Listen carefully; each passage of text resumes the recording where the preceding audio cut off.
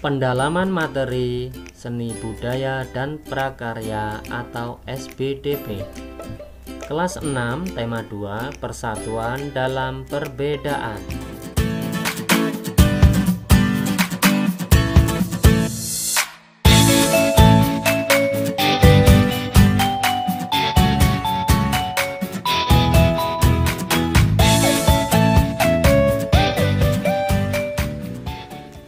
Pendalaman materi seni budaya dan prakarya atau SBDP Kelas 6 tema 2 Persatuan dalam perbedaan.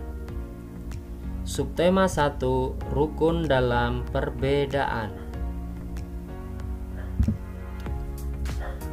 Pola lantai dalam gerak tari Pola lantai merupakan garis yang dilalui penari saat melakukan gerak tari.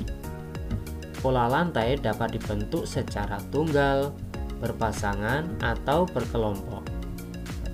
Terdapat dua pola garis dasar pada pola lantai, yaitu garis lurus dan lengkung. Untuk lebih jelasnya, perhatikan gambar berikut.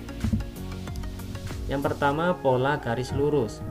Pola garis lurus ini ada beberapa macam. Yang pertama, horizontal atau mendatar, kemudian diagonal, yang ketiga vertikal ke atas bawah. Kemudian pola zigzag membentuk huruf Z. Kemudian pola segi 4 pola segi 5 pola segi 3 dan sebagainya.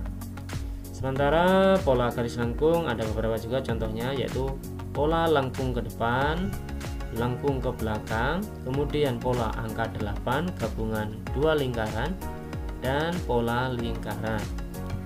Jadi ini adalah pola-pola pada uh, pola lantai ya. Nah, yang ini untuk garis lurus yang ini untuk garis lengkung. Kita lanjutkan.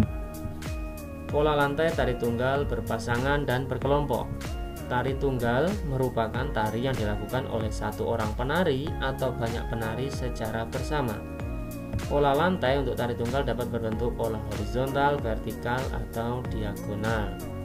Jadi tari tonggal ini adalah tari yang ditarikan oleh satu orang. Kita lanjutkan. Tari berpasangan merupakan tari yang dilakukan oleh dua orang. Tari berpasangan dapat dilakukan oleh banyak penari secara berpasang-pasangan. Pola lantai tari berpasangan dapat bentuk pola horizontal, vertikal, atau diagonal. Jadi e, tari berpasangan ini bukan berarti hanya dua orang, maksudnya tarinya itu berpasangan jadi misalkan penarinya ada 8 berarti ada empat pasang karena setiap pasang berisi dua orang kita lanjutkan tari berkelompok. Tari berkelompok adalah tari yang dilakukan secara berkelompok. Pola lantai tari berkelompok dapat berupa pola melingkar angka 8 atau melengkung. Tari berkelompok ini anggotanya minimal tiga orang karena kalau satu itu disebut tari tunggal kalau berdua disebut tari berpasangan dan tari berkelompok ini minimal tiga orang atau lebih Oke itulah tadi pembahasan kita tentang materi SPDP di kelas 6 tema 2 subtema 1 Semoga bermanfaat. Terima kasih sudah menonton